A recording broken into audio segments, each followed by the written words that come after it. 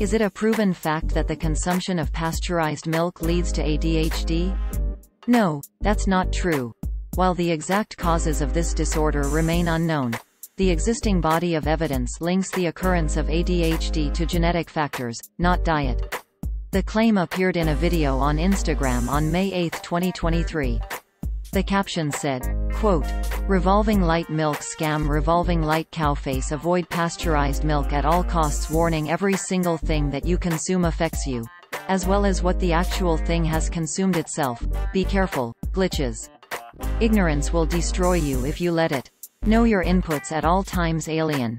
Hashtag workout Hashtag fitness Hash men's workout Hashtag gym Hashtag pull-ups Hashtag muscles Hashtag strong Hashtag strength Hashtag biohack Hash biohacker Hashtag glitch Hashtag mindset Hash health as wealth Hashtag nutrition Hashtag protein Hashtag potions Hash just do it Hashtag motivation Hashtag success Hash inspiring Hashtag abs Hashtag six-pack Hashtag freedom Hash FYP Hashtag entrepreneurship Hashtag nature Hashtag inspiration inspiration hashtag Dethax hash hashtag Belmarwisdom end quote. In the video, a man says, quote, that's what gave me ADHD. End quote. Here is what it looked like at the time of writing. Source.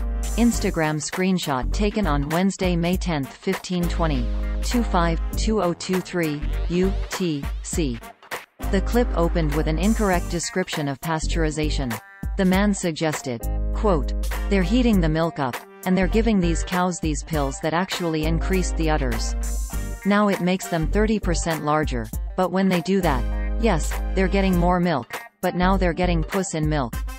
So how did they get rid of the puss? They feed it antibiotics. How do they get rid of the antibiotics? They pasteurize it, and that's going all through us. End quote. Contrary to the claim, Pasteurization is used to kill pathogenic microorganisms and bacteria that spoil food, not antibiotics. The process, first discovered by French chemist Louis Pasteur in 1863 and suggested for commercial milk in 1886 by German chemist Franz von Soxhlet, involves heating beverages and foods. The length of exposure and temperature depends on certain qualities of the product.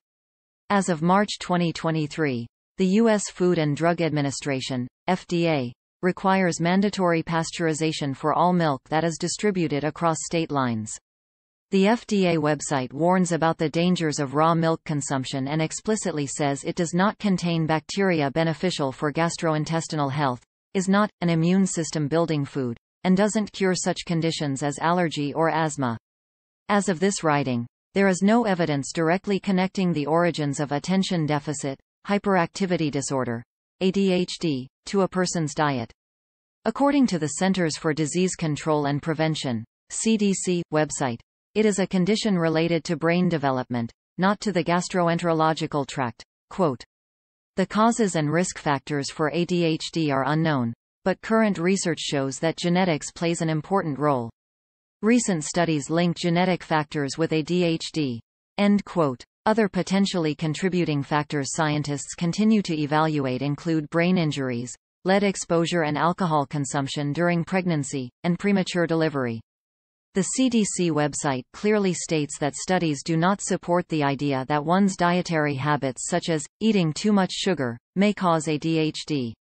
Children and adults with attention deficit, hyperactivity disorder, or CHADD, suggested in a 2011 brochure that allergies, including food sensitivities to wheat and milk, may interfere with some medications used to treat ADHD, but did not name milk as a cause of ADHD.